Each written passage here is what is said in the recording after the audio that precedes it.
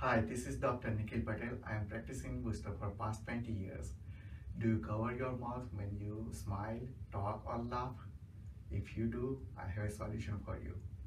I offer a clear braces that is less invasive, less expensive and affordable. Life is too short. Don't waste your smile with crooked teeth. Please call me 508-756-5141 to find out about the clear braces and special financing.